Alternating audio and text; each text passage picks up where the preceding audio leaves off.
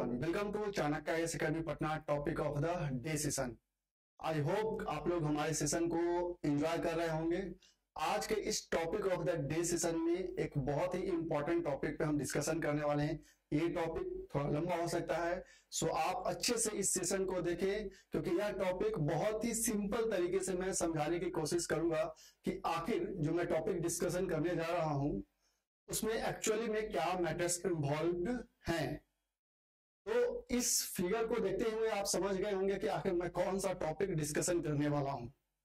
एक तरफ़ आकर जी है, एक तरफ़ सिंधी जी है and supreme court of India so इस सेशन में हम महाराष्ट्र पॉलिटिकल क्राइसिस को डिस्कशन करने वाले हैं। लेकिन महाराष्ट्र में जाने से पहले, महाराष्ट्र की क्राइसिस क्या है, उसको समझने से पहले यह समझना ज़रूरी है कि आखिर क्या क्या कॉन्स्टिट्यूशनल प्रोविज़न है जो इस पॉलिटिकल क्राइसिस में काफ़ी ज़्यादा चर्चा में रहा है? किसी भी पॉलिटिकल क्राइसिस को समझने के लिए सब, सबसे पहले यह समझना ज़रूरी है कि आखिर उसके पीछे का क्या कॉन्स्टिट्यूशनल प्रोविजंस है। तो इसमें था कि इसमें जो मेन प्रोविजंस इन्वॉल्व है, वो है एंटी डिफिक्शन लॉ क्या कहता है गवर्नर का क्या पावर है, और स्पीकर या फिर डेप्यूटी स्पीकर का क्या पावर है? इन सब के बारे में पहले जानना ज़रूरी है। देन हम देखेंगे कि आखिर महाराष्ट्र में यह पॉलिटिकल सिचुएशन इमर्ज ही क्यों हुआ? और कैसे इमर्ज हुआ? और कब से इमर्ज हुआ? क्या कारण है? और अभी अगेन यह न्यूज़ में क्यों है? इन सब बातों पे हम डिटेल में चर्चा करेंगे। बट बिफोर दैट हम यह जानना ज़रूरी है कि आखिर कॉन्स्टिट्यूशनल प्रोविजंस क्या है? ये अगर ऐसा कोई पॉलिटिकल क्राइसिस होता है तो उसमें क्या क्या कॉन्स्टिट्यूशनल प्रोविजंस हैं? Begin the session with anti defection law anti defection law हमारा जो ओरिजिनल कॉन्स्टिट्यूशन है, उसमें तो इसका कोई प्रोविज़न नहीं था। Later on fifty second amendment के थ्रू 1985 में एंटी डिफिक्शन लॉ लाया जाता है और इसमें बहुत सारे प्रोविज़न रहते हैं रिगार्डिंग डिफेक्शन कि बहुत सारे इसमें प्रोविजंस बनाए जाते हैं, क्योंकि उस जो भी पॉलिटिकल टर्मोइल होता है, कभी बहुत बार ऐसा होता है कि कोई लीडर इस पार्टी को छोड़कर दूसरी पार्टी में चला जाता है, कभी बहुत सारे ग्रुपिंग्स मिलके ही पार्टी को डिफेक्ट करके दूसरी पार्टी में शामिल हो जाते हैं। तो इन सब चीज़ों को हैंडल करने के लिए यह दल बदल विरोधी कानून लाया गया था एंटी डिफिक्शन लॉ लाया गया था। इसके क्या मेजर प्रोविज़न है, सो पहले देखिए। ग्राउंड ऑफ़ डिफिक्शन आखिर कौन कौन से ग्राउंड पे डिफिक्शन हो सकता है under this anti defection law पहला है if an elected member voluntary gives up his membership of a political party कि अगर जो पार्टी के सपोज़ कोई पार्टी है ए उसके इलेक्शन से उसके टिकट पे कोई कोई मेंबर एमएलए बन जाता है तो अगर यह एमएलए इस पार्टी का मेंबरशिप पार्टी ए का अगर मेंबरशिप को छोड़ देता है तो उसका सीट वैकेंट हो जाता है। मतलब वह ग्राउंड का डिफेक्शन है under the anti defection law कि वॉलंटरली ही कोई मेंबर कहता है कि आज से हम इस पार्टी का मेंबरशिप छोड़ रहे हैं elected member please remember elected member अगर वो कहता है कि इस पार्टी का मेंबरशिप छोड़ रहे हैं तो उस पर एंटी डिफिक्शन लॉ लागू हो जाता है मतलब उसकी मेंबरशिप खत्म हो जाएगी। वायलेशन ऑफ़ इंस्ट्रक्शन ये क्या है? इफ़ ही वोट्स मतलब वो कोई भी मेंबर वोट्स और abstain from voting in such house contrary to any direction issue by his political party और any one authorise to do so without obtaining prior permission कि अगर आप किसी पॉलिटिकल पार्टी के मेंबर हैं और उस पॉलिटिकल पार्टी के डायरेक्शन को नहीं मानते हैं और अगर वो मान लेते हैं पार्टी आपको कहती है कि आपको वोटिंग के दिन प्रेजेंट रहना है और आप अब्सटेन रह जाते हैं या पार्टी के अगेंस्ट में जाके वोटिंग कर देते हैं, तब पर भी आप पे डिफेक्शन लॉ लागू हो सकता है मतलब एंटी डिफेक्शन लॉ के तहत आप पे डिफेक्शन लग सकता है।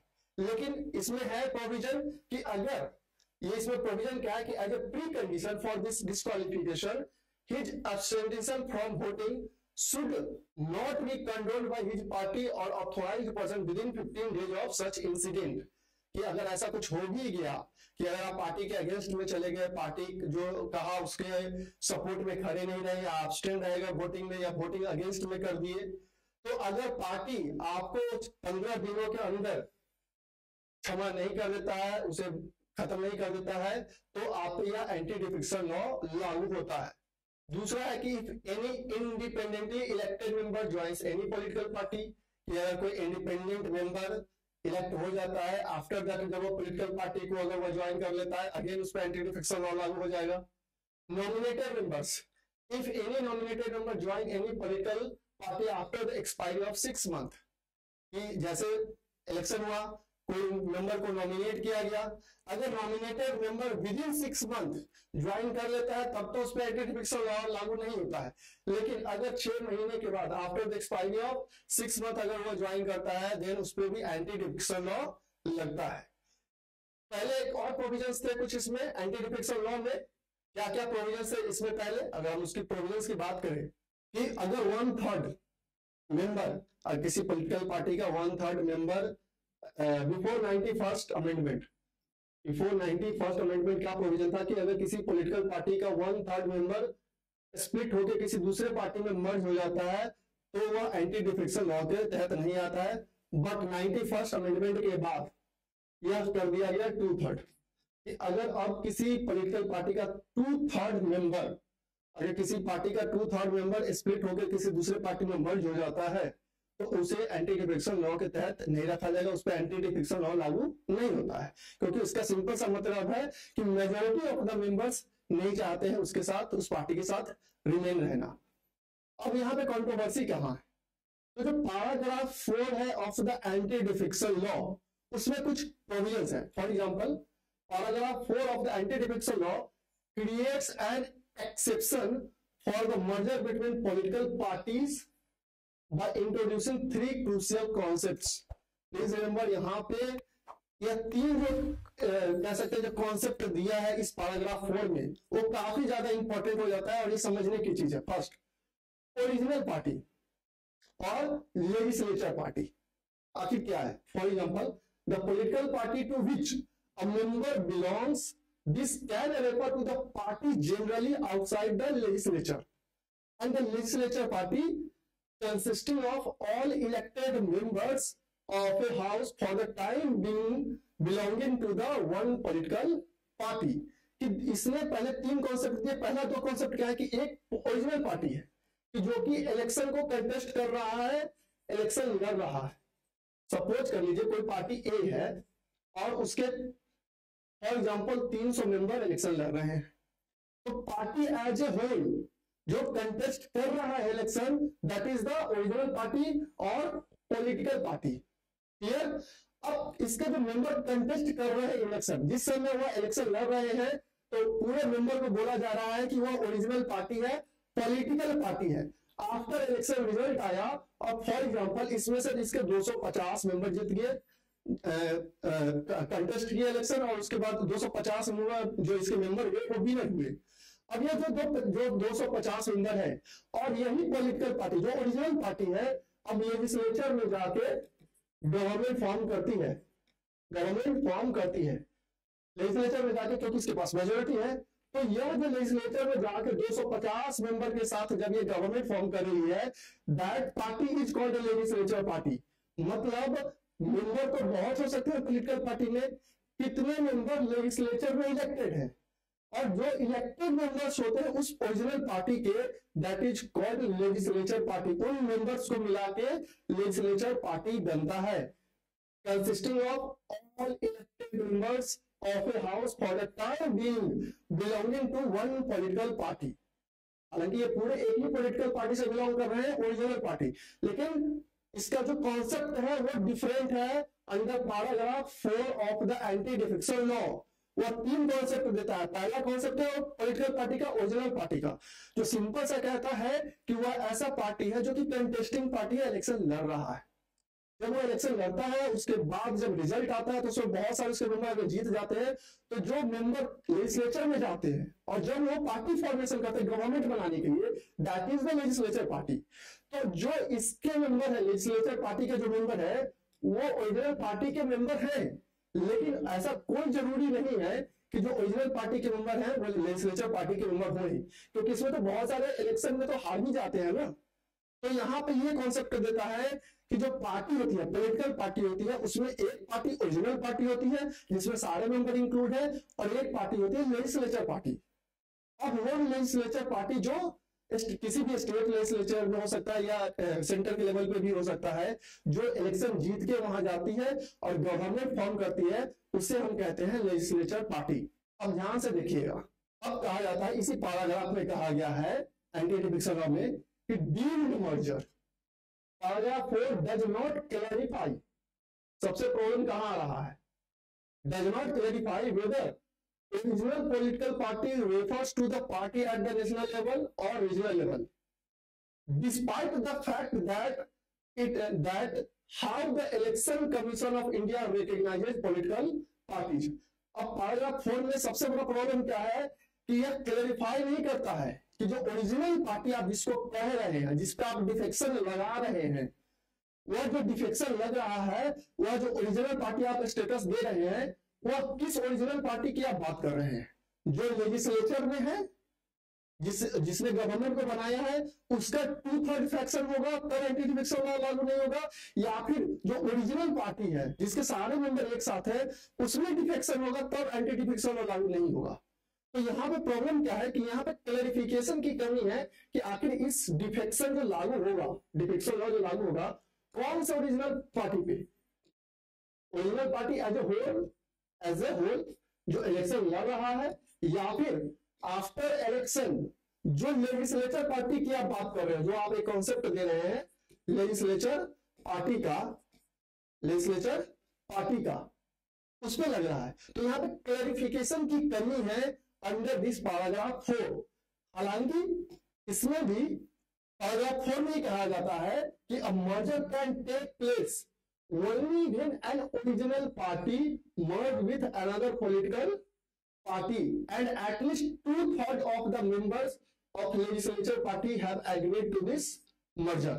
इसमें यह कहा जा रहा है कि मर्जर तभी है, हो सकता है या संभव है कि जब ओरिजिनल पार्टी किसी अनदर पार्टी से जो मिल रही है, जब ओरिजिनल पार्टी का एटलीस्ट जो मेंबर्स है merger can take only when an original party merged with another political party and at least two third member of the legislature party agree to this merger कि एक जैसे कि बात कर रहे थे ओरिजिनल पार्टी की, एक बात कर रहे थे हम लोग लेजिस्लेटिव पार्टी की। इसका कहना है पैराग्राफ फोर का, अब इसमें हम बात कर रहे थे कि अब सपोज़ कर लीजिए this is another party another party तो पैराग्राफ फोर क्या कहता है कि यह ओरिजिनल पार्टी जब इसके साथ मर्ज होगा मर्जर कब होगा, जब ओरिजिनल पार्टी मर्ज होगा किसके साथ? अनदर पार्टी के साथ। और इसमें जो लेजिस्लेटिव पार्टी है, या लेजिस्लेचर पार्टी है, उसके at least two third members agree होने चाहिए। तभी जाके यह मर्जर माना जाएगा, या मर्जर होगा। तो कहने का मतलब है कि अगर फॉर एग्जांपल टू थर्ड अगर यहाँ से जो पोलिटिकल पार्टी मर्ज हो रही है ओरिजिनल पार्टी की आप बात कर रहे हो, आप ओरिजिनल पार्टी क्या किसको रहे हो, उस पोलिटिकल पार्टी का जो इलेक्शन को कंटेस्ट कर रहा है। और फिर आप ही कह रहे हो कि यह जो लेजिस्लेटिव पार्टी है, जो टू थर्ड से एग्री होना चाहिए तो यह जो टू थर्ड आप कैलकुलेट कर रहे हो मर्जर तब लागू नहीं होगा एंटी लॉ तब लागू नहीं होगा जब टू थर्ड मेंबर्स उसके उसमें चले जाए। तो यह क्या सिर्फ़ एग्री वाला मैटर है, या टू थर्ड पूरा इस ओरिजिनल पार्टी का है? अब उसमें क्या कहता है पैराग्राफ में it seems to be creating a legal fiction इसके कारण यह लीगल फिक्शन क्रिएट हो रहा है। So as to indicate that a merger of two third member of legislator party can be deem to be a merger of political parties even if there is no actual merger of original political party with another party तो यह क्या कर रहा है कि एक legal fiction create कर रहा है। इसका कहना है कि मर्जर तो वही है ना, जो लेजिस्लेचर में है, जो इलेक्टेड है मतलब जो लेजिस्लेचर पार्टी के टू थर्ड मेंबर अगर उसमें से स्प्लिट होकर दूसरे पार्टी में मिल जाता है, तब हम उसको कहते हैं मर्जर ऑफ़ पॉलिटिकल पार्टी तो मर्जर का यहाँ पे लीगल फिक्शन यही इंडिकेट होता है कि जो टू थर्ड मेंबर की बात की जा रही है, उस ओरिजिनल पार्टी की बात नहीं की जा रही है। किस पार्टी की बात कर रही है? तो जो लेजिस्लेचर में है legislature party can be deem to मेरी मर्जर ऑफ़ पॉलिटिकल पार्टी क्योंकि एग्री इसी को करना है। हाउस में स्ट्रेंथ किसका है? जो इलेक्टेड है उसका। तो यहाँ पे यह एक लीगल फ्रिक्शन क्रिएट करता है, या पैराग्राफ फोर यह क्लियरिटी नहीं है कि जो आप कहते हैं कि ओरिजिनल पार्टी का मर्जर होना चाहिए और legislature party two third majority से एग्री होनी चाहिए। तो भैया, जो ऑलरेडी इलेक्टेड है ही नहीं, उसमें वो ओरिजिनल पार्टी के इलेक्टेड नहीं है मतलब उसके पास पावर नहीं है मेजोरिटी में वो जो भी इलेक्ट हार चुका है, वो तो लेजिस्लेचर में है नहीं नहीं। तो यहाँ पे आप क्लियर याद रखे, ये लीगल फिक्सन है उसमें सिंपल सा है मर्जर का क्या मतलब है कि जो लेजिस्लेचर पार्टी है, उसके two third members two third members जब किसी अनदर पार्टी में चले जाते हैं, तब उसको हम कहते हैं मर्जर यह ओरिजिनल पार्टी नहीं, जो कि इलेक्शन को कंटेस्ट कर रहा है. यह है? आई होप आपको ये समझ में आ गया होगा. लेकिन इसमें खुद पैराग्राफ फोर में लीगल अभी भी इसमें फिक्शन है. इसमें भी कंट्रोवर्सी कि आप एक तरफ़ ओरिजिनल पार्टी कह रहे हैं, उसको जो कंटेस्ट कर रहा है इलेक्शन एक तरफ़ आप कह रहे हो कि टू थर्ड एग्री होना चाहिए, कौन? जो लेजिस्लेचर पार्टी है। तो भैया यह जो एंटी फिक्शन लॉ है, वो किस पे लागू होगा? लेजिस्लेचर पार्टी पे या पूरा पार्टी पे आप लागू कर रहे हैं? आप एकदम क्लियर है? यहाँ पे मतलब है इस लेजिस्लेचर पार्टी का कि यह जो लेजिस्लेचर पार्टी है, यह टू थर्ड मेजोरिटी से एग्री होगा, अगर अनदर पार्टी से, तब उसको बोला जाएगा कि पार्टी का मर्जर हो रहा है। कंट्रोवर्शियल रोल ऑफ़ स्पीकर इसमें रोल ऑफ़ स्पीकर भी कंट्रोवर्सी में है। There is no clarity in the law about time frame for the action of the house chairperson और speaker in the anti defection cases supreme अगर speaker है, अगर वो anti defection पे कोई डिसीज़न देता है, उसके डिसीज़न को जुडिशियल रिव्यू किया जा सकता है बट कितना टाइम फ्रेम में वो डिसीज़न देगा, इसका कोई क्लैरिफिकेशन नहीं है। Some cases even take six months and some even three years. There are cases that are disposed of after the term is over. और बहुत बार ऐसा भी हुआ है कि स्पीकर का टर्म जब ओवर हो गया, उसके बाद भी डिसीज़न आया है तो यहाँ पे प्रॉब्लम क्या है कि स्पीकर पे कोई टाइम बाउंड नहीं है कि एंटी डिफिक्शन लॉ के तहत आप कितने टाइम में डिसीज़न दीजिएगा जुडिशियली भी उसके डिसीज़न का हो सकता है, लेकिन कितना टाइम होगा, इसमें कोई क्लैरिफिकेशन नहीं है एंटी डिफिक्शन लॉ में आप इस बात को याद रखें, ये इसमें आप अगेन कंफ्यूज हो सकते हैं। कंफ्यूज नहीं होना है। यहाँ पे लीगल फैक्शन मैं एक बार और आपको समझा रहा हूँ। This is original party this is legislative party और मान लीजिए अनदर पार्टी पैराग्राफ फोर क्या कहता है कि टू थर्ड मेजोरिटी से अगर पार्टी दूसरे पार्टी के साथ मर्ज हो जाता है तो वह एंटी डिफेक्शन लॉ उस पर लागू नहीं होता है। अगर वो कहता कैसे है कि अगर कोई party original party two third majority से अनदर पार्टी के साथ मर्ज हो जाता है तो उसे एंटी डिफिक्शन लॉ के तहत नहीं रखा जाएगा। और जब वो ओरिजिनल पार्टी मर्ज होगा, और यह जो लेजिस्लेचर पार्टी है लेजिस्लेचर पार्टी है, अगर टू थर्ड से एग्री हो एग्री हो तो उस पर लागू नहीं होगा। यहाँ पे बात क्या है कि यहाँ पे बात है जो मर्जर की हम बात करते हैं तो मर्जर में टोटल स्ट्रेंथ का ना टू थर्ड तो टोटल स्ट्रेंथ जो हाउस में होगा, वो तो लेजिस्लेचर पार्टी का कैलकुलेट होता है ना।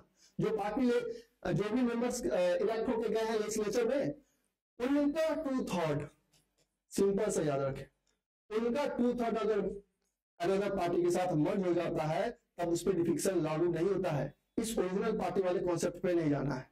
ओरिजिनल पार्टी में तो मेंबर तो बहुत रहते हैं पोलिटिकल पार्टी के, लेकिन सब इलेक्ट थोड़ी हो जाते हैं। इसका कहना है कि पार्टी के स्ट्रेंथ का टोटल स्ट्रेंथ का टू थर्ड तो टोटल स्ट्रेंथ कहाँ पे रहता है? उसके हाउस में रहता है। और उस हाउस में जो टोटल स्ट्रेंथ रहता है, उसको लेजिस्लेचर पार्टी कहते हैं। तो उस लेजिस्लेचर पार्टी का टू थर्ड अगर मर्ज होता है अनदर पॉलिटिकल पार्टी के साथ तो उस पर एंटी डिविक्शन लॉ लागू नहीं होता है। क्लियर रखिए इस बात को। अब बात करते हैं governor call for floor test आखिर गवर्नर के पास क्या पावर है? फ्लोर टेस्ट से रिलेटेड इसमें भी प्रॉब्लम है कुछ जगहों पे। कि गवर्नर कब फ्लोर टेस्ट बुला सकता है। कब नहीं बुला सकता स्पीकर कब फ्लोर टेस्ट बुला सकता है? आप सोच रहे होंगे कि स्पीकर कैसे फ्लोर टेस्ट बुलाएगा? स्पीकर फ्लोर टेस्ट बुलाता है। गवर्नर का भी फ्लोर टेस्ट बुलाने का कंडीशन है। Article 174 of the constitution authorise governor summon dissolve and prorogue the state legislative assembly जो 174 में गवर्नर को तीन पावर दिए गए। समन डिजॉल्व और close of the state legislative assembly clear article 174 seventy four clause two b of the constitution give power to the governor to dissolve the assembly on the aid and advice of the cabinet how governor can apply his mind when the advice comes from chief minister whose majority could be in doubt कि जो governor है, वो house को dissolve भी कर सकता है on the advice of council of minister लेकिन गवर्नर कुछ केसेस में यहाँ पे डिजोल्व के केसेस में अपने डिस्क्रिशनरी पावर भी यूज़ कर सकता है। कब जब काउंसिल जब उसे लगेगा कि काउंसिल ऑफ़ मिनिस्टर के पास मेजोरिटी नहीं है तो even without the consent of chief minister वो हाउस को डिजोल्व कर सकता है। मतलब सिंपल सा कि वो अपने माइंड को अप्लाई कर सकता है। अब बात आती है, इसी 175 क्लॉज टू में कहा जाता है कि governor can summon the house and call for the floor test to prove whether the government has the number 75 plus two की जो हम बात करते हैं उसमें गवर्नर के पास पावर है कि वह फ्लोर टेस्ट के लिए बुला सकता है। फ्लोर टेस्ट क्यों बुलाया जाता है? तो बेसिकली इसलिए ताकि वो यह चेक कर सके कि जो पार्टी जो क्लेम कर रही है गवर्नमेंट बनाने के लिए उसके पास रियल में मेजोरिटी है या नहीं है। However, governor can exercise the above part. ये जो हम पावर कह रहे हैं दिस या 175 प्लस टू जो है, उसे तभी एक्सरसाइज कर सकता है एज पर article 163 of the constitution which save council of minister headed by chief minister again please remember when the house is in session it is the speaker who can call for the floor test कि अगर session है जो भी legislature है, मान लीजिए state legislature है, कोई महाराष्ट्र का ही स्टेट लेजिस्लेचर है, अगर वह सेशन में है सेशन में होते हुए किसी पार्टी को टेस्ट करना है कि उसके पास मेजोरिटी है या नहीं है, तब फ्लोर टेस्ट के लिए कौन बुलाता है? तब बुलाता है स्पीकर ऑफ़ द हाउस अगर सेशन में नहीं है अगर हाउस सेशन में नहीं है और तब ऐसा लगता है कि जो रूलिंग पार्टी है, जो रूलिंग गवर्नमेंट है, उसके पास मेजोरिटी की कमी है। और तब मेजोरिटी को चेक करने की ज़रूरत है। Then governor calls for the floor test mean governor कब कॉल करेगा floor test under article 75 clause 2 when the house is not in session house session में नहीं हो। स्पीकर कब करेगा? जब हाउस सेशन में हो, और तब उस पार्टी पे रूलिंग पार्टी पे क्लेम लगे कि उसके पास मेजोरिटी नहीं है। Well house is in session speaker can call for the floor test but when assembly is not in session जब असेंबली सेशन में ना हो then governor security power under article 163 allow him to call for a floor test please remember जब house session में होगा तो floor test कौन बुलाएगा? स्पीकर हाउस सेशन में नहीं होगा देन फ्लोर टेस्ट सिंपल सा लॉजिक है कि जब रूलिंग पार्टी है चूँकि हाउस सेशन में नहीं है हाउस समन करने का पावर किसके पास है? गवर्नर के पास है। तो समन पहले हाउस जब आएगा, तभी तो फ्लोर टेस्ट हो सकता है ना? तो जब समन होगा हाउस तभी फ्लोर टेस्ट होगा तो समन करेगा कौन? गवर्नर तो सिंपल सा है कि जब हाउस सेशन में नहीं होगा तो गवर्नर और जब हाउस सेशन में होगा मतलब हाउस सेशन में नहीं होगा तो गवर्नर फ्लोर टेस्ट बुलाएगा, और जब हाउस सेशन में होगा तो चूँकि उस समय प्रेजेंट ही रहेगा पार्टी भी प्रेजेंट रहेगी हाउस सेशन में चल भी रहेगा तो समन करने की तो ज़रूरत है नहीं डायरेक्ट फ्लोर टेस्ट करने की ज़रूरत है तो स्पीकर करेगा उस समय। Article 163 clause 1 essentially limit any discretionary power of the governor only to cases कि आर्टिकल 163 क्लॉज 1 जो है वह गवर्नर के पावर को कहाँ पे लिमिट करती है? तो लिमिट करती है on the constitutional cases where the constitution expressly specified that governor must act on his own and apply an independent mind the governor can exercise his discretionary power under article 174 when the chief minister has lost the support of the house and his strength is debatable कि अगर मान लीजिए अब protest बुलाना भी है, ठीक है? जनरली क्या होता है कि गवर्नर एक्ट कर रहा है on the aid and advice of the chief minister लेकिन वह 74 वन आर्टिकल 174 के तहत अपना पावर यूज़ कर सकता है? जब ऐसा लगे कि chief minister the chief minister has lost the support of the house then वह और उसका जो स्ट्रेंथ है, जो कि उसके पास मेजोरिटी है या नहीं वो डिबेटेबल है then in that case governor protest बुला सकता है on his own generally when the doubt are cast on the chief minister that he has lost the majority, the opposition and the governor would rally for a floor test. कि जब ऐसा लगता है, ऐसे doubts आते हैं कि जो चीफ मिनिस्टर है, वो मेजोरिटी लॉस कर चुका है देन इन दैट केस जो अपोजिशन पार्टी है और जो गवर्नर है, वो क्या करती है? फ्लोर टेस्ट बुलाने के लिए तैयार करती है फ्लोर टेस्ट बुलाती है। अपोजिशन पार्टी के पास में मौका रहता है ना? कि अगर जो रूलिंग पार्टी है ऑलरेडी उसके पास माइंड में है कि वो तो मेजोरिटी रहा नहीं तो फ्लोर टेस्ट प्रोपोजिशन पार्टी भी वॉइस रेज करती है कि फ्लोर टेस्ट करवाया जाए because ruling party has no majority then government क्या करते हैं कि फ्लोर टेस्ट बुलाते हैं।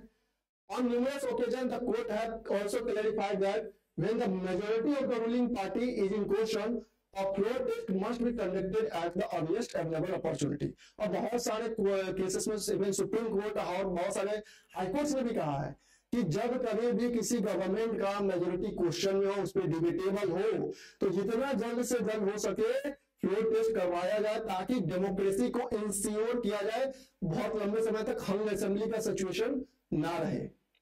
और इन सब बातों का सुप्रीम कोर्ट के अकॉर्डिंग क्या ऑब्जर्वेशन रहा?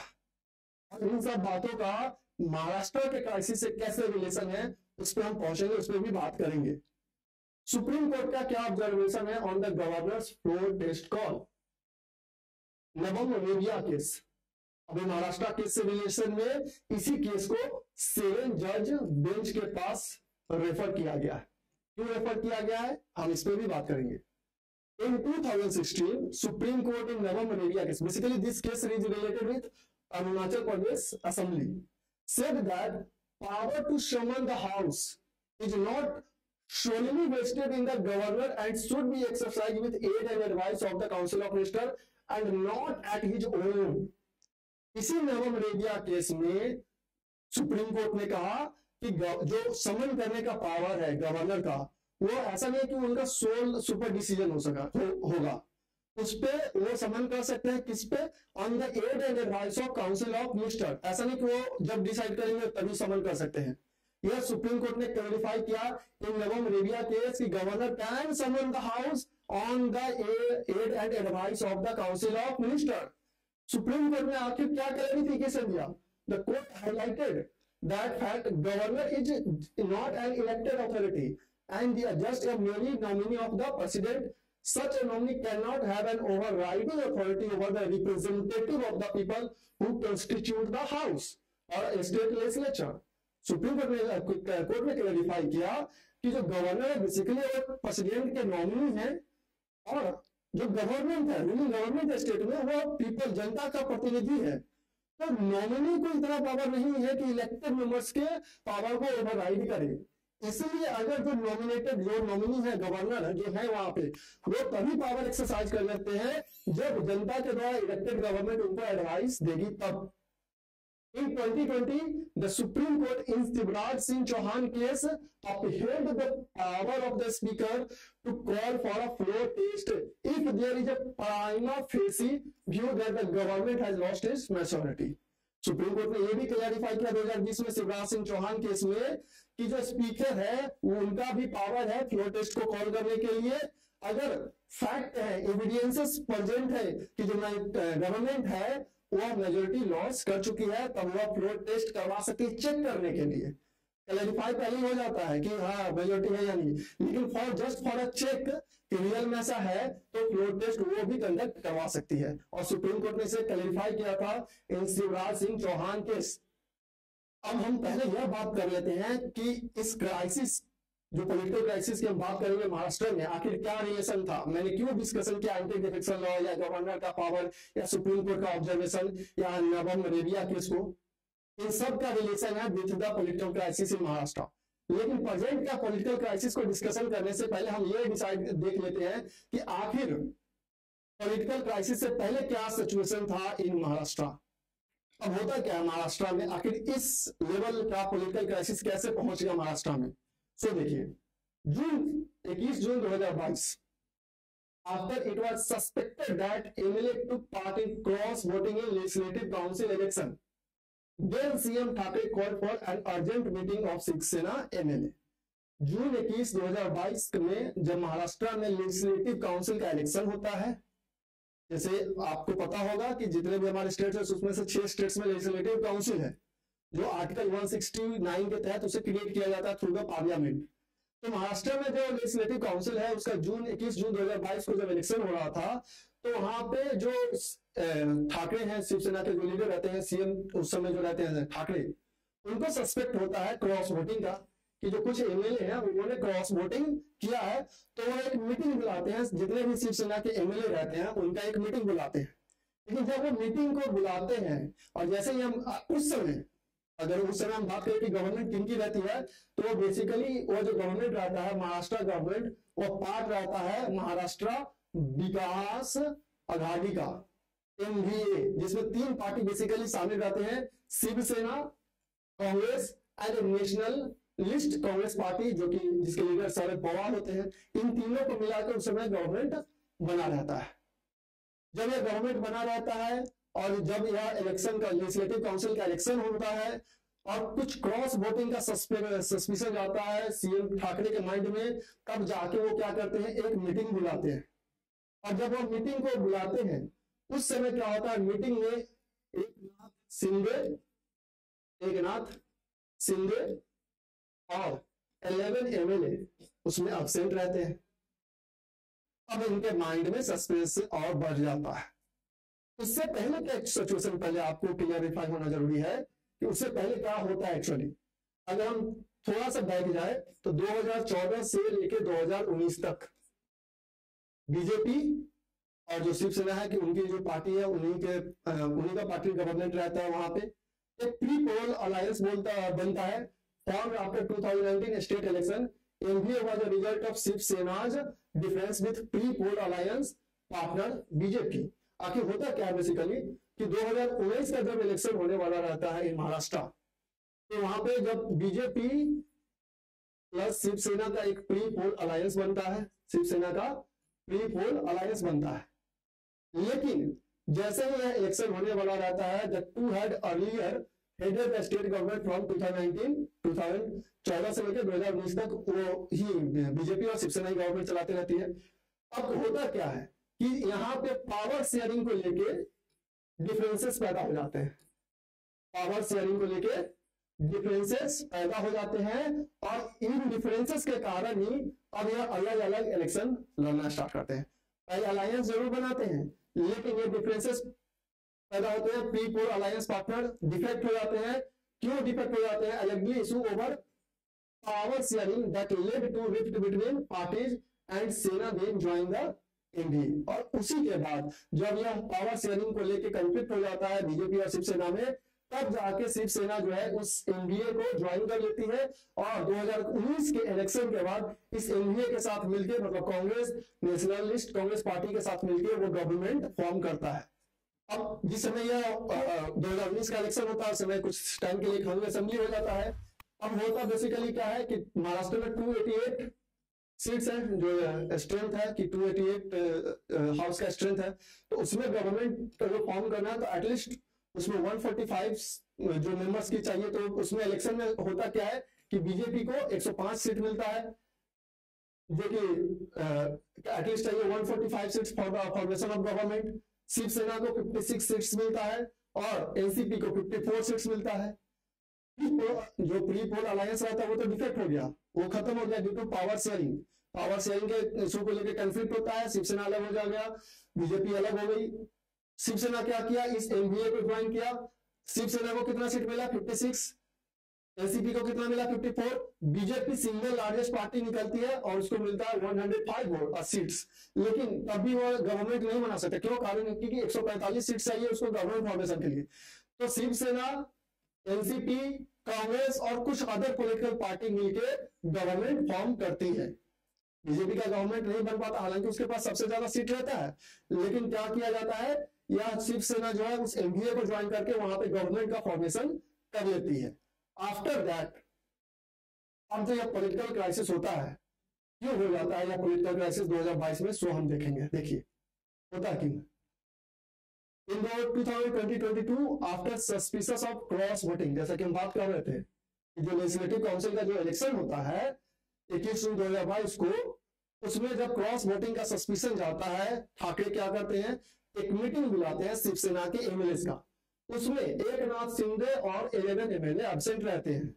और कुछ टाइम्स के बाद उन्हें पता चलता है कि यह जो एमएलए हैं, सूरत, गुवाहाटी सब में जाके बीजेपी के साथ अलायंस कर रहे हैं।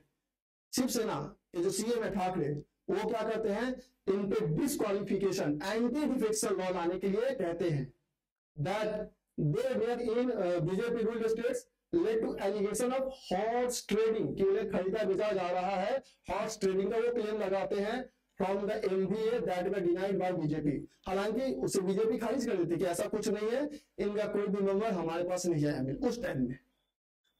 Then Maharashtra deputy speaker Maharashtra के deputy speaker Narhari Zirwal issue notice on the plea seeking the disqualification of the MLAs from the assembly.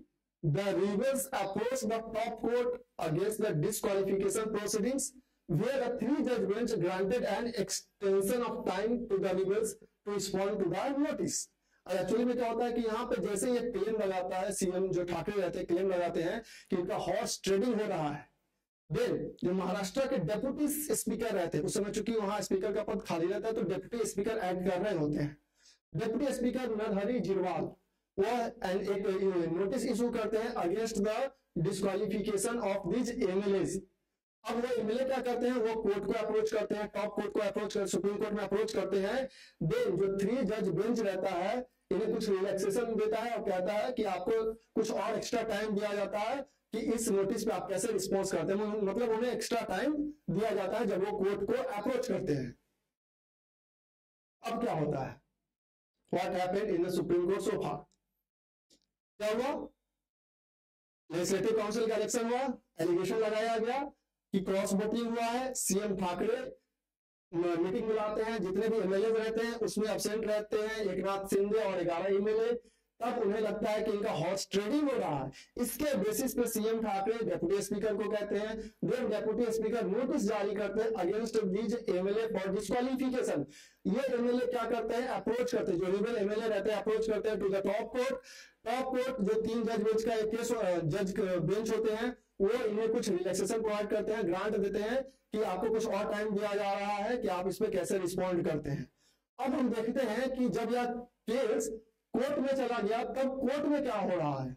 अब देखिए since then supreme court has hearing batch of petition file by both groups of Shiv Sena and Shinde groups दो दो groups में ये divided basically हो गया, उनके तरफ़ से बहुत सारे पिटीशन डाले गए। The Shinde camp leader first challenge the June 21 decision of Zirwal recognizing Chaudhary as the leader of Shiv Sena legislative party in place of Sindhe calling it illegal constitutional and taken with bias जो जो leader थे, उस समय अजय चौधरी थे in place of Singh उन्होंने क्या claim किया कि जो इस स्पीकर ने जो डिसीज़न लिया डिस्कालिफिकेशन का, वो तो बायसनेस है। बायसनेस आखिर है कैसे? देखिए Zirwal has taken decision because his party the NCP was supporting the minor faction of the Sena led by Thackeray The plea also challenged the disqualification notice served on Singh and 15 MLA supporting on him June 25 for not attending party meeting conveyed by the then Chief Minister Thackeray. उनका कहना है जो जेवाल पे वो claim लगा रहे हैं opposition के जो मेंबर है कि जेवाल जो है बेसिकली वो एनसीपी के पार्टी के लीडर है और जो ये एनसीपी है, वो सपोर्ट कर रहा है किस माइनॉरिटी फैक्शन जो कि जो सीएम ठाकरे जो लीड कर रहे हैं। दैट्स वाई इनके डिसीज़न में बायसनेस है। मतलब जो डेप्यूटी स्पीकर कौन है? एनसीपी के लीडर है। और एनसीपी सपोर्ट किसको कर रहा है? क्योंकि वो एनडीए है। जो एनडीए बना था महाराष्ट्र तो ग्रुप का एमबीए का ग्रुपिंग है ये। और यह सपोर्ट कर रहा है सीएम ठाकरे को, जो उस समय जिन्होंने एजुकेशन दिया था। जो इस कारण से जो अपोजिशन के लीडर है, अजय चौधरी, यह क्लेम कर रहे थे कि इसमें बायसनेस है इनके डिसीज़न में। अब और इन पे क्या क्लेम लगता है कि जो ये डिस्कालिफिकेशन लगा रहे हैं एक नाथ सिंधे पे और 15 अदर एमएलए पे, वो भी रॉन्ग है। रॉन्ग है कैसे? सो देखिए। अब इनका कहना था अपोजिशन पार्टी का कि अगर डेप्यूटी स्पीकर डिस्कालिफिकेशन का अगर नोटिस ऑलरेडी हो तो वह कैसे डिसाइड कर सकते हैं या कोई नोटिस कैसे जारी कर सकता है? लेकिन ठाकरे जो फैक्शन है, जो ठाकरे का जो पार्टी था, जो ठाकरे ग्रुपिंग था, उन्होंने क्या कहा? Before court for setting aside Maharashtra governor's B S Koshyari June two thousand order then CM Uddhav Thackeray to take a floor accepting democracy will be in danger if it is not overturn जब Thackeray faction जो है, वो जब supreme court में जाते हैं, तब वो अपना क्लेम क्या करते हैं, देते हैं कि उस समय जब उन्हें फ्लोर टेस्ट के लिए कहा जाता है तो गवर्नर ये कह के उनको फ्लोर टेस्ट करने के लिए कहते हैं कि डेमोक्रेसी खतरे में है और आप जल्द से जल्द आप यहाँ पे फ्लोर टेस्ट करें, क्योंकि तो हम असेंबली आने की सिचुएशन है। अब उसमें क्या होता है कोर्ट भी ऑर्डर देता है कि ठीक है, जल्द से जल्द वहाँ पे फ्लोर टेस्ट हो। The supreme court refusal mean that Thackeray had to prove his majority जैसे सुप्रीम कोर्ट में अग्री हो जाती है गवर्नर के डिसीज़न के साथ यहाँ फ्लोर टेस्ट होना चाहिए तो फ्लोर टेस्ट होने से पहले ही ठाकरे क्या करते हैं? रिजिग्नेशन दे देते हैं। जब ठाकरे रिजिग्नेशन दे देते हैं, तब कोर्ट का क्या कहना है? सुप्रीम कोर्ट का after the court order he announce his resignation the chief minister and Eknath Shinde later sworn in as the chief minister with BJP Devendranath Fadnavis as deputy CM. February 2023 election commission of India Shinde के ही favour में rule करता है and allowed Shinde faction had right to use the name Shiv Sena and election symbol of bow and तो शिवसेना के जो party है, जो एकनाथ शिंदे के जो फैक्शन ग्रुप रहता है वह क्यों क्लेम करता है कि जो डेप्यूटी स्पीकर है, उसका डिसीज़न बायस है? क्योंकि तो उनका कहना है कि जब डेप्यूटी स्पीकर को ही डिस्कालीफाई करने के लिए नोटिस ऑलरेडी जारी है then he has no power to disqualify member anti defection law that's why और चूँकि जो जिरवाल रहते हैं वो एनसीपी के ही मेंबर है इसलिए उनके डिसीज़न में बायसनेस है अब क्या होता है अब देखिए द फाइव जज constitution bench of supreme court concluded hearing on plea on March 16 and reversed its verdict. Reserve it was at that time it uh, asks how Uddhav Thackeray could be reinstated as CM, even if it finds the governor's action calling it a trust vote illegal, given that he had resigned without facing the floor test. अब supreme court ने क्या कहा? जो five जज constitution bench बैठा था उसने आखिर क्या कहा? उसका कहना था कि जैसे कोर्ट ने ऑर्डर दिया कि हाँ ठीक है फ्लोर टेस्ट होना है तो फ्लोर टेस्ट होने से पहले ही अगर कोर्ट का कहना कि मान लेते हैं कि जो गवर्नर का डिसीज़न था, वो इलीगल था। जो फ्लोर टेस्ट के लिए वो बुलाता है, वो इलीगल था, वो कॉन्स्टिट्यूशनल नहीं था, उसमें कुछ कॉन्स्टिट्यूशनल प्रॉब्लम्स थे। लेकिन अगर फ्लोर टेस्ट से पहले ही अगर ये रिजाइन दे देते हैं तब तो कहते हैं कि he had resign without in the floor test accepting that he was no majority और सुप्रीम कोर्ट का कहना है कि फ्लोर टेस्ट से पहले रेजिग्नेशन दे रहे हैं, तब आप खुद ही एक्सेप्ट कर रहे हो कि आपके पास मेजोरिटी नहीं है। वाई वाज 2016 नवम रेविया की ruling has been referred to seven जज बेंच हम देखते हैं कि यहाँ पे अब हो क्या रहा है। नवम रेविया केस में क्या हुआ एक्चुअली में? अभी रिसेंटली नवम रेविया केस को सिविल जज बेंच केस के पास रेफर किया गया है। जो उद्धव ठाकरे का जो फैक्शन ग्रुप है, उनके कहने पे अभी रिसेंटली जो उनके लीडर वकील थे एडवोकेट्स थे, उनके रिक्वेस्ट पे इससे, इसे सिविल जज बेंच केस को रेफर किया गया है। अब इसमें देखते हैं आखिर इसमें सुप्रीम कोर्ट ने क्या ऑब्ज़र्व किया था। Supreme court has refer to a larger bench its 2016 ruling in the Navam India case where it was held that a speaker of a house cannot decide disqualification petition filed under anti-defection law while a notice under Article 179C of the Speaker's removal is pending. Same case हो रहा है वहाँ पे भी महाराष्ट्र में कि उनका कहना है सुप्रीम कोर्ट ने नवंबर इंडिया केस में कहा कि स्पीकर जो है वो डिसाइड नहीं करेगा disqualification under anti defection law जब उस स्पीकर के अगेंस्ट में ही कोई नोटिस हो फॉर हिज रिमूवल अगर 179 सी के तहत अगर स्पीकर के अगेंस्ट में नोटिस है कि स्पीकर को रिमूव किया जाए then speaker has no power to decide disqualification case under anti defection law the court had said decision on whether it's नवम Rebia judgment should be refer to a larger bench as requested by Uddhav Thackeray faction Shiv Sena could not be considered in abstract and would have been determined together with merit of the sena dispute case. चूँकि जब ये demand की जा रही थी कि इसे seven जज बेंच के पास भेजा जाए, इसे हायर जज बेंच का हियरिंग का ज़रूरत है ऐसे मैटर्स को तो सुप्रीम कोर्ट ने कहा कि ऐसा नहीं है कि हम ऐसे एब्स्ट्रैक्ट में कोई डिसीज़न ले लेंगे जब देखेंगे कि मेरिट्स है, उसमें तब जाके से रेफर किया जाएगा एंड फ़िलहाल अब उसके रेफर किया गया whether the principle which has been formulated in Novum Media has an impact upon the fact of the present case needs deliberation. अब इसीलिए इसे लार्जर जज बेंच के पास भेजा जा रहा है कि जो नवम रेबिया केस में डिसीज़न दिया था कोर्ट ने, क्या इस केस से रिलेटेड कोई उस पर डेलीब्रेशन है? अब इसीलिए यह जो नवम रेबिया केस हुआ था, जैसा कि बात कर थे, अरुणाचल प्रदेश से रिलेटेड था Supreme Court rule that it would be constitutionally impermissible for a Speaker of the House to advocate upon disqualification petition under anti-defection law as per the 10th schedule, when a motion of resolution for his her removal from office speaker is pending. इसलिए speaker ने इस case में clear कहा गया कि ऐसा हो ही नहीं सकता है। ऑलरेडी जब खुद ही स्पीकर पे रिमूवल का प्रोसेस हो पेंडिंग हो तो वो कैसे डिसीज़न ले सकता है? सिंगल ग्रुप हैव साइटेड नवम Rebia ruling when the crisis unfolded in June 2022 तब सिंधु ग्रुप जो एक नाथ सिंधु का पार्टी था, जो ग्रुपिंग था वो उनका कहना था, उन्होंने नवम रेबिया केस का रेफरेंस लेते हुए कहा contended that deputy speaker can not proceed under the against the dissident MLA as notice seeking his removal is pending तो पूरा केस क्या हुआ? कि जब सीएम ठाकरे को लगता है कि यहाँ पे क्रॉस वोटिंग हो रहा था, क्लियर है? वो क्या करते हैं? एंटी डिफिक्शन लॉ लाने की बात करते हैं अगेंस्ट द मेंबर्स जो भी ग्यारह एमएलए रहते हैं और एक नाथ सिंधे के एक नाथ सिंधे और इंक्लूडिंग जो अदर एमएलए रहते हैं। उन पे लाते हैं एंटी डिफिक्शन लॉ लाने के लिए। वो बोलते हैं डेपुटी स्पीकर को, जो कि उस समय जिरवाल रहते हैं, जो कि एनसीपी के मेंबर रहते हैं। अब एनसीपी सपोर्ट किसको कर रहा होता है? सीएम ठाकरे को सपोर्ट कर रहा होता है। तो जब यह, और जब जिरवाल नोटिस जारी करते हैं अगेंस्ट दो एमएलए और एक नाथ सिंधे तो जो एक नाथ सिंधे के जो ग्रुपिंग है उनका वो नवम रेबिया केस का रेफरेंस लेते हैं।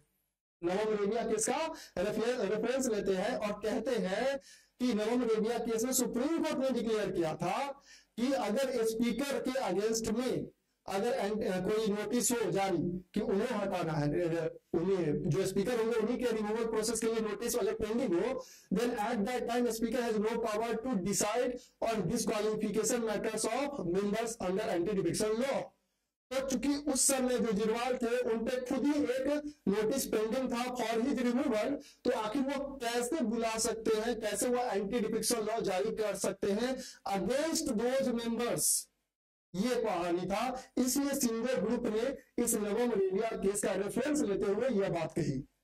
अब जब नवम रेबिया केस को लेकर सिंगे ग्रुप ने यह कहा कि जो जेवाल थे, उन पे खुद ही एक नोटिस पेंडिंग था फॉर हिज रिमूवल तब तो वो डिसाइड ही नहीं कर सकते बिकॉज़ नवम रेबिया केस में सुप्रीम कोर्ट ने डिक्लेयर किया है। अब contesting this Thackeray camp had told the bench that by invoking it, MLA who want to defect can preempt and stall disqualification proceeding against them by seeking the speaker's removal through a notice. इसी कारण से again जब यह जो ठाकरे का group था अब चूँकि इन्हीं के रिक्वेस्ट में जवाब में अब इसे सेवन जज बेंच को रेफर किया गया है नवम रेबिया केस को डिसाइड करने के लिए during the hearing before the constitution bench in February, the Sindh camp had argued that matter had become academic and there was no reason for it to be a larger bench. और Shinde group तो चाहेगा ही ना कि चाहेगा मतलब कि उनका भी कहना सही है कि अगर रिन्यूअल प्रोसेस खुद जिरवाल पे ही था तो कैसे नोटिस जारी कर सकते हैं? लेकिन ठाकरे ग्रुप का कहना है कि इसे लार्जर बेंच के पास रेफर किया जाए, क्योंकि इसमें बहुत सारे कॉन्स्टिट्यूशनल मैटर्स इन्वॉल्व हैं, जिनमें की लीगल फैक्शन है। जो कि हम एंटी डिफेक्शन लॉ में डिस्कस कर रहे थे कि बहुत सारे लीगल फैक्शन इन्वॉल्व है, उसको क्लैरिफाई करने के लिए एक हायर जज बेंच हियरिंग ज़रूरी है। अब सिंगल ग्रुप क्या कह रहे हैं कि जब यह लार्जर बेंच को भेजने की बात की जा रही थी, तब सिंगल ग्रुप का कहना था कि अब this matter has become academic मतलब अब यह जो मैटर है, वो पूरा का पूरा पॉलिटिकल मैटर है अब इसका कॉन्स्टिट्यूशनल नॉर्म से कोई लेना देना नहीं है, यह पॉलिटिकल मैटर बन गया है, राजनीतिक मैटर बन गया है So, this become an academic matter. So, there was no reason to refer it to the larger bench.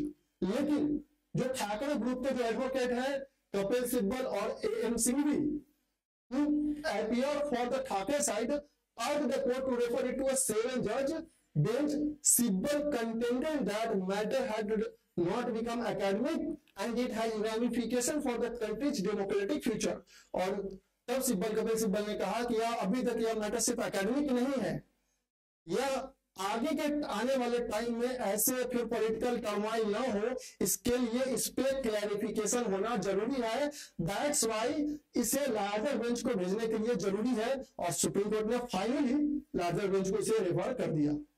अब ये तो ठाकरे के साइड से था। जब सिंधे के साइड से जो एडवोकेट है, Mahesh Jethmalani the event of 2022 leading to Thackeray stepping down as chief minister and said that Supreme Court has then said that the governor's direction to hold a protest will not prejudice speaker power to decide on disqualification Supreme Court ने जब 2022 में या जब ऐसा situation चल रहा था, और ठाकरे जो सीएम ठाकरे थे, जब उन्होंने स्टेप डाउन किया था मतलब चीफ मिनिस्टर से रिजिग्नेशन दे दिया था अपने पद से, तब उन्होंने कहा था कि जो गवर्नर का पावर है कि फ्लोर टेस्ट बुलाने का, वो किसी भी तरीके से स्पीकर के पावर को कम नहीं करता है प्रिजुडिश नहीं करता है।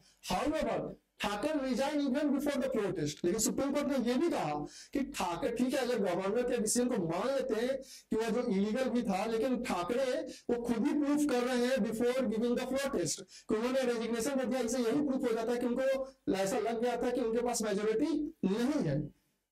As he realized that he did not have the requisite numbers and there was thus no prejudice to the speaker to exercise his power of disqualification?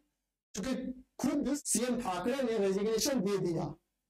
जब रेजिग्नेशन दे ही दिया तो स्पीकर के पास कहाँ से पावर है कि वो मेंबर के डिस्कालिफिकेशन को डिसाइड करे? उस फैक्शन ऑफ़ ग्रुप जो बट गया था, उसके मेंबर को कैसे डिस्कालिफिकेशन कैसे वो डिसाइड कर सकते हैं? जबकि फ्लोर टेक्स से पहले ही सीएम ठाकरे ने रेजिग्नेशन दे दिया। ये कहना है महेश जेठ गुलानी का।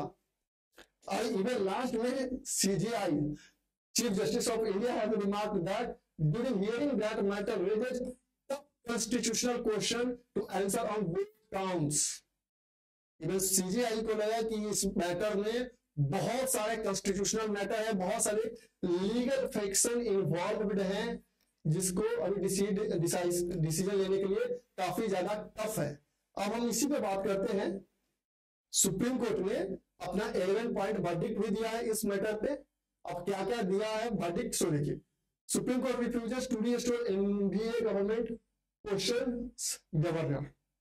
Supreme Court ने इसे लार्जर बेंच को भेजा दिया लेकिन इसमें उन्होंने कुछ डिसीज़न भी दे दिए हैं पहले पहले क्या था वो 11 पॉइंट डिसीज़न पहले वो देखते हैं हम लोग the decision of former master governor Bhagat Singh Koshyari to call for a floor test on the request of 34 MLA from the Eknath Sindhe faction was incorrect. इनका कहना है सुप्रीम कोर्ट का कहना है कि गवर्नर फ्लोर टेस्ट कब बुलाता है। इन जनरल सेंस कि फ्लोर टेस्ट वो बुलाएगा जब जो काउंसिल ऑफ़ मिनिस्टर एडवाइस दे, या फिर गवर्नर को ऐसा लगे कि जो सीएम है या जो रूलिंग पार्टी है, अब वो मेजोरिटी लॉस कर चुकी है तो चलिए ठीक है गवर्नर वो बुला सकते हैं फ्लोर टेस्ट के लिए। लेकिन इसका कहना है कि जो एक नाथ सिंधे के ग्रुप के जो चौतीस एमएलए के कहने पे उन्होंने जो कहा कि फ्लोर टेस्ट बुलाया सकते हैं। On the request of thirty four MLA कि जो एक नाथ सिंधे का जो फैक्शन बढ़ गया था उसमें 34 एमएलए का रिक्वेस्ट लेटर पर उन्होंने जो फ्लोर टेस्ट बुलाया वो इलीगल है वो गलत है Also, Khosiari did not have enough objective material to conclude that the then Chief Minister Uddhav Thackeray has lost the confidence of the House. और जो उस समय के गवर्नर थे उनके पास इतना एविडेंस नहीं था इतना फैक्ट भी नहीं था कि वो यह डिसाइड कर सके कि रियली में जो सीएम ठाकरे उनके पास मेजोरिटी नहीं है उन्हें फ्लोर टेस्ट के लिए बुलाया जाए जब आप ऑलरेडी किसी बात है कि जब फ्लोर टेस्ट के लिए किसी को कहते हो तो उन्हें ऐसा लगता है कि मेरे पार्टी में मेजोरिटी नहीं है। और आप सिर्फ़ चौतीस एमएलए के कहने पे रिक्वेस्ट करने पे जो आप बुला रहे हैं that is not good that is against the constitutional norms the status quo ante can not however be restored as Uddhav Thackeray है चूजन टू रिजाइन लेकिन मान लीजिए यह इलीगल भी था कि गवर्नर का डिसीज़न रॉन्ग था, उसके पास फैक्ट्स नहीं थे एविडेंसेस नहीं थे कि प्रोटेस्ट बुलाया जाए। लेकिन फिर भी यह स्टेटस को क्यों नहीं रिस्टोर कर सका? कारण था कि फ्लोर टेट से पहले उद्धव ठाकरे खुद ही रिजाइन दे दिए। अब तो बात ही नहीं रह जाती जब सीएम खुद ही रिजाइन दे रहा है मतलब उसे लग रहा है कि मेरी पार्टी में मेजोरिटी नहीं है। Governor was wrong to conclude Uddhav Thackeray lost majority governor was justified in inviting Eknath Shinde to form the government governor यहाँ पे गलत है कि उद्धव ठाकरे पास मेजोरिटी नहीं है। लेकिन वह एक नाथ शिंदे जब को चीफ मिनिस्टर बनाते हुए भी जस्टिफाइड है बिकॉज़ खुद ही उद्धव ठाकरे ने रेजिग्नेशन दे दिया।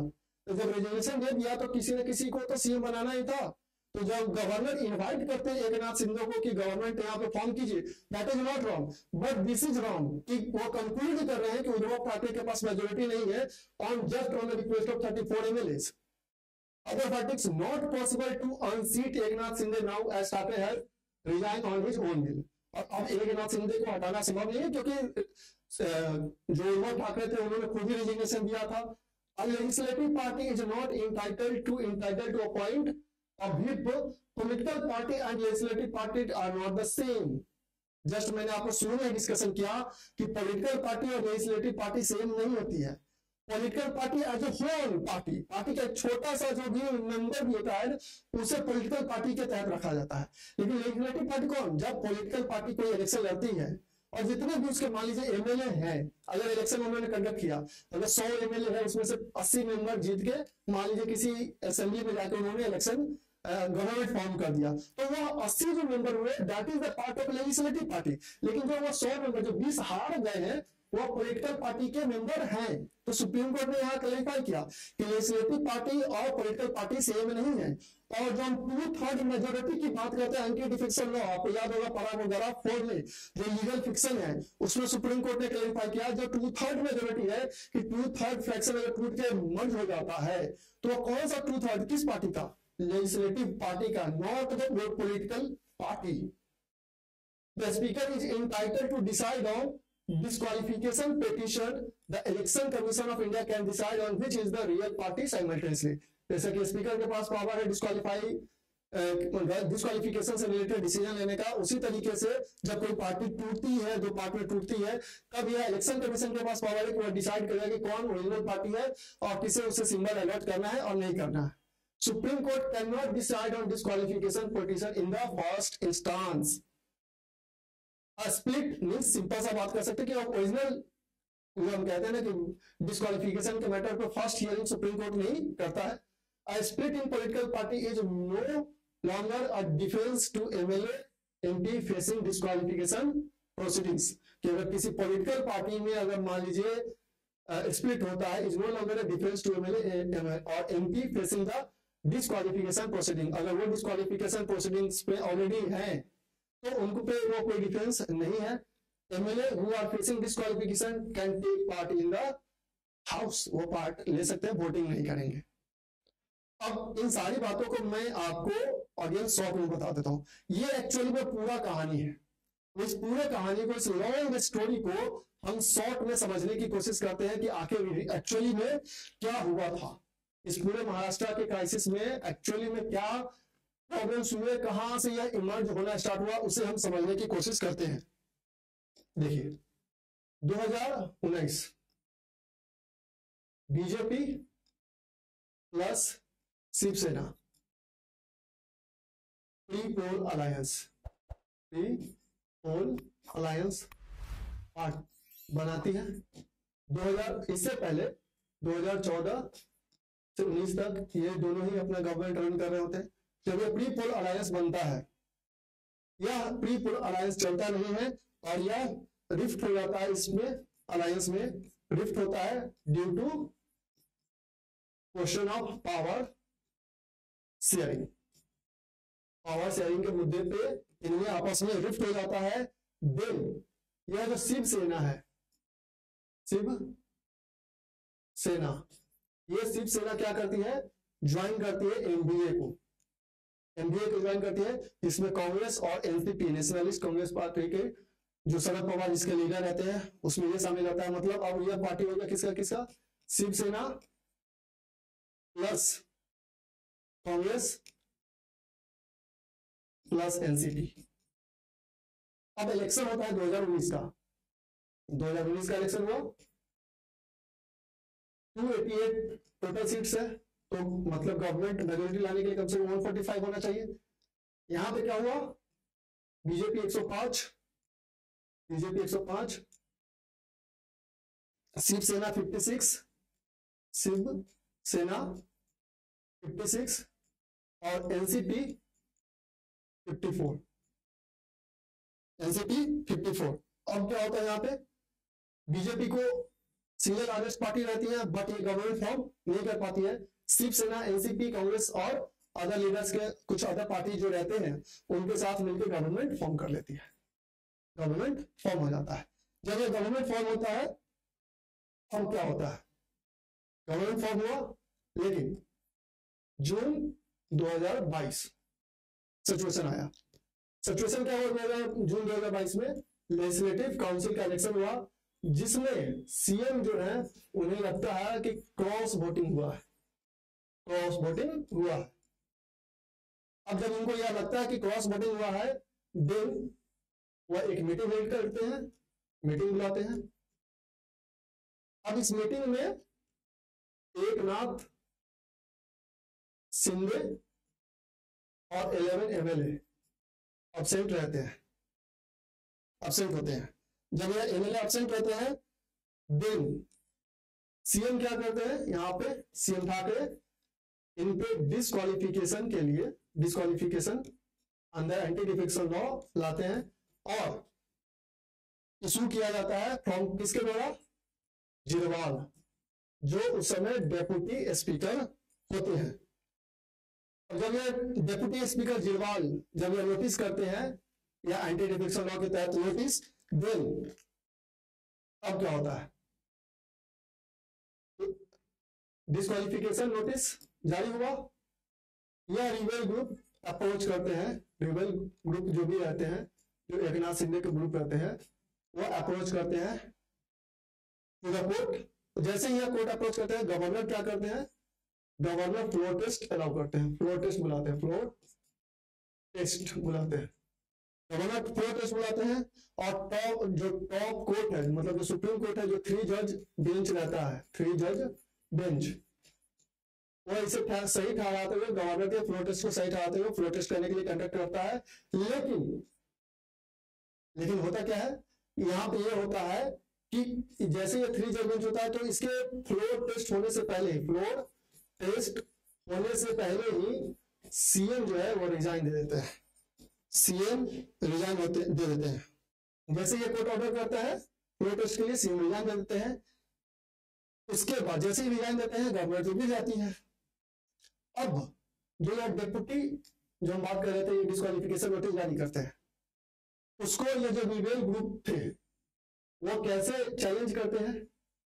कि जो चैलेंज क्या करते हैं, वो नवम रेबिया केस का यहाँ पे नवम रेबिया केस यहाँ से आता है, नवम रेबिया रेबिया केस। की बात क्यों आती है? कि इसमें नवम रेबिया केस आती क्यों है? क्योंकि रिबेल ग्रुप कैसे चैलेंज करते हैं? जो रिबेल ग्रुप है चैलेंज इस बात पे करते हैं, इसके इस डिस्कालिफिकेशन नोटिस को कि उनका कहना रहता है? जो जिनवाल जो डेप्यूटी स्पीकर है, आखिर वो डिस्कालिफिकेशन नोटिस जारी कैसे कर सकते हैं? क्योंकि इस डेप्यूटी स्पीकर जेवी वाल के अगेंस्ट में ऑलरेडी नोटिस इनके रिमूवल का नोटिस इन पे पेंडिंग है, और यह कॉन्स्टिट्यूशन में मेंशन है कि अगर डेप्यूटी स्पीकर मान लीजिए ही एक्ट कर रहे हैं एज द स्पीकर और उनके अगेंस्ट में नोटिस जारी है फॉर हिज रिमूवल और वो पेंडिंग है then he has no power to decide disqualification under anti defection law उसके बेसिस पे ये चैलेंज करते हैं और यह किस केस का रेफरेंस देते हैं? नवो मलेरिया केस का रेफरेंस देते हुए यह बात करते हैं। अब क्या होता है जब यह रेफरेंस यह दे देते हैं? तो जो ठाकरे ग्रुप रहते हैं, जो सीएम ठाकरे का ग्रुप रहता है, जो उनके एडवोकेट कपिल सिब्बल रहते हैं, ये एम सिंह भी रहते हैं, जब यह कहते हैं कि लार्जर बेंच को रेफर किया जाए यह केस में बहुत सारे कॉन्स्टिट्यूशनल इंटरप्रिटेशन और अधिक होने हैं तो फाइनली और चूँकि सिंधे ग्रुप कहते हैं कि इसे भेजने की ज़रूरत नहीं है, क्योंकि अब यह एकेडमिक मैटर मर गया है, अब इसका कॉन्स्टिट्यूशन से लेना देना उतना नहीं है, लेकिन सीएम ठाकरे के जो जो अगला सीएम उद्धव ठाकरे का जो ग्रुप है, जो शिवसेना का ग्रुप है, उद्धव ठाकरे का, उनके जो लीडर एडवोकेट है, कपिल सिब्बल और एम सिंह भी कहते हैं कि नहीं, अभी यहाँ एकेडमिक मैटर ही सिर्फ़ नहीं है।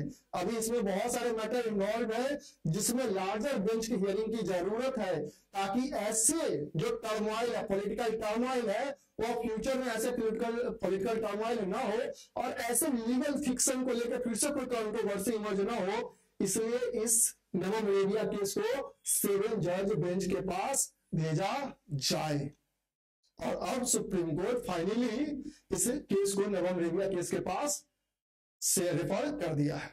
अब देखते हैं कि सेवन जज बेंच इस पे क्या डिसीज़न लेते हैं। ये था पूरा का पूरा महाराष्ट्र का पॉलिटिकल क्राइसिस कहाँ पे अभी भी लीगल फिक्शन है एंटी डिफिक्शन लॉ का फोर गवर्नर का प्रोटेस्ट से related calling power deputy speaker पे अगर मान लीजिए उसके रिमूवल के लिए नोटिस ऑलरेडी पेंडिंग हो, तब वो डिसाइड नहीं करेगा।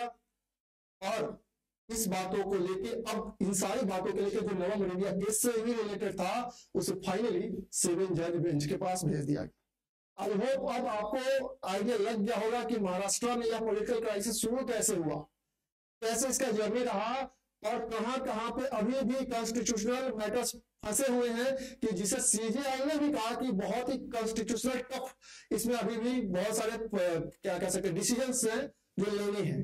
दैट्स वाई इसे लार्जर जज बेंच की हियरिंग ज़रूरत है और कपिल सिब्बल एम सिंघवी के रिकमेंडेशन पे अब फाइनली यह सेवन जज बेंच को रेफर कर दिया गया। सो so, यही था all about Maharashtra crisis I hope अब आपको यह समझ में आ चुका होगा कि महाराष्ट्र में आखिर हो क्या रहा है? अब देखते हैं कि सेवन जज बेंच क्या हियरिंग करते हैं इस पे। So that's all for today thank you please आप हमें कमेंट में ज़रूर बताएँ कि आपको आखिर महाराष्ट्र जो क्राइसिस थी वो समझ में आ गया होगा। आप प्लीज़ हमें कमेंट में ज़रूर बताएँ। ज़्यादा से ज़्यादा इसे शेयर करें लाइक करें सब्सक्राइब करें। So that's all for today thank you Don't forget to like, share and subscribe to our channel and press the bell icon to never miss an update.